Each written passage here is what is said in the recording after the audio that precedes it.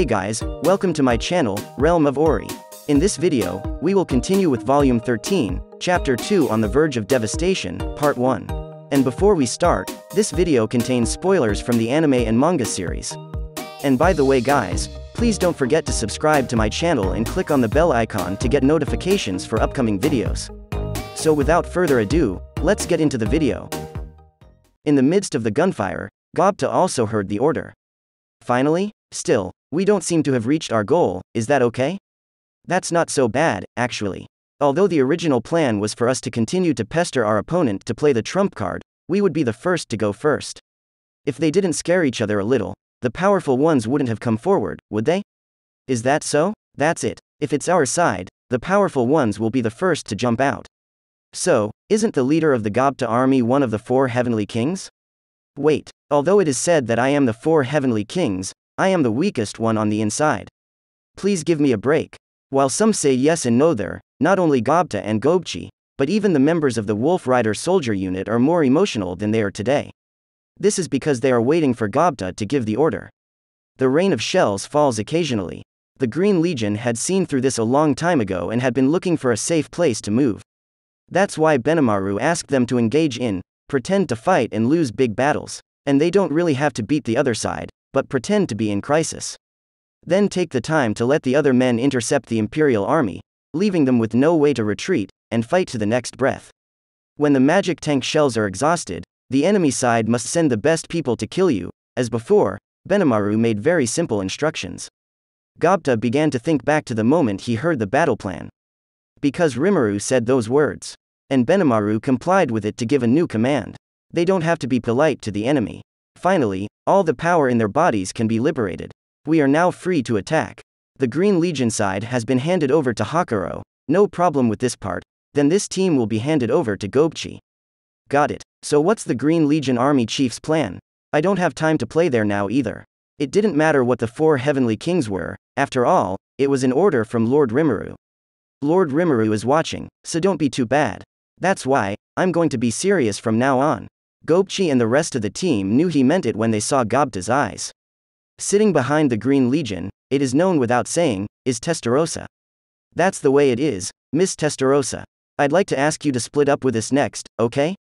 Yes, of course. I feel the same way you do. Everyone should do their best. So take care of yourselves, leaving those words, and Testarossa walks off at a leisurely pace. This one is really my type. And so, after seeing Testarossa leave, Gobta was like saying it's our turn to play. Then let's get started. He gave the order to all the subordinates, and the response of the others satisfied him. It's our turn, Mr. Ranga. The demon wolf in one. I've been waiting a long time, Gobta. Let our leader, Lord Rimuru, see the power we have.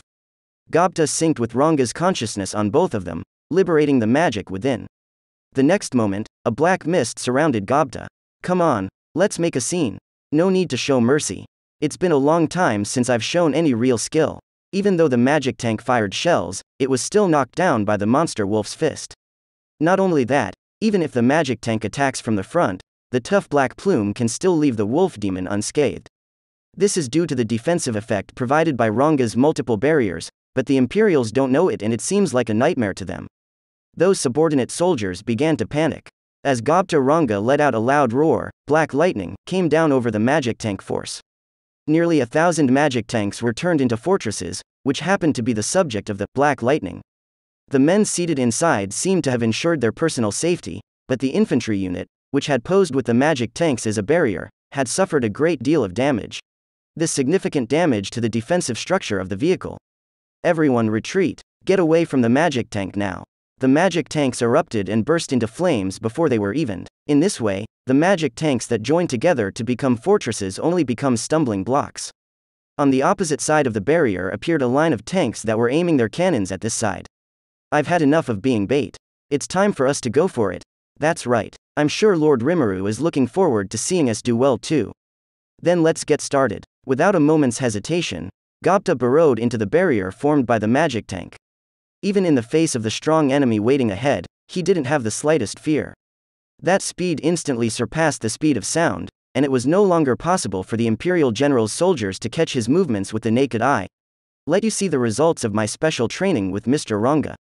Let's see how far you can go with this. Blizzard Wolf Dance. A black gust of wind ran across the battlefield. At the same time, destruction from the supersonic shockwave hit the Imperial magic tank force. The carefully calculated actions are effective in wiping out enemy forces and evolving into a tornado of destruction. A corner of the battlefield collapses in on this. As the Gobta began to drive them to the ground, the above changes also appeared. That was the third corps, led by Gabble. Following Benimaru's orders, the Gabble group was responsible for covering Gobta and the others. Although this task was beginning to become difficult, they did not panic and immediately carried out their next battle plan. That is, pretending to be defeated, like the Green Legion. Pretend that you're about to lose, so that you can stay glued and let the enemy perform a big trick. Although this battle plan was very messy, Benimaru ordered it without changing his colors.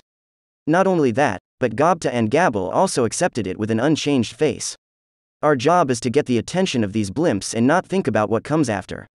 If one fights with all one's might, it's not impossible to fight down.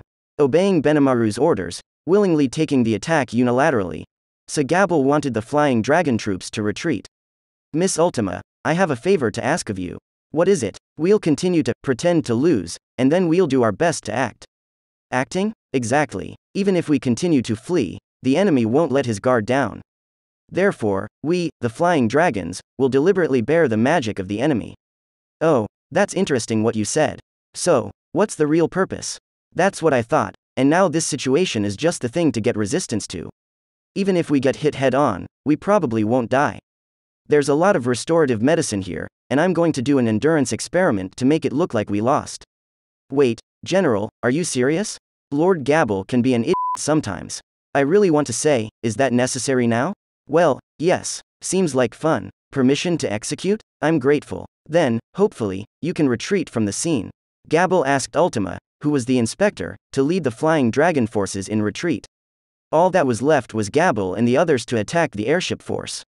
If I die, I'll hate you. I wish you hadn't thought of this experiment. I'm sure you'll be scolded for doing this later. Time comes to now. Gabble heard the voice from Rimuru. Listen up, everybody. The training is all over and I'm going to go into dragon mode next. Fortunately, the rookies are retreating with Miss Ultima. It's just us, even if it's a little messy. Since it's going to be a mess, I think it's better to use my real skills in combat than the endurance training I just did. That's right. That's right. It's not like Lord Gabble's messing around didn't just start now. Shut up, all of you. Don't say anything, get moving. Follow me to the best of your ability. There's nothing I can do about him. Stop joking around and follow orders. Alright, alright. You can't disobey a great general. Yes. Lord Gabble, please give the order again. Hearing those words, Gabble nodded with satisfaction. Then stared at the Imperial Air Combat Flying Corps that was confronting them, and pulled up the volume to ask. I ask you, who is the overlord of the skies? It's Is, the flying dragons. The aura on Gabble changed, and the minions responded in earnest. The dragon warriorization is the last trump card they have hidden. Gabble brought in Midray as an instructor to train his partners to learn control. But as things stand, the success rate is not high. Even so, they still used it. Because Rimuru gave the order for them to leave. They have no reason to doubt. Dragon Mode. Together, the flying dragons unleashed the power they deserved. The dragon warriors are the strongest force in the Tempest, and their true fighting prowess is blossoming at the moment.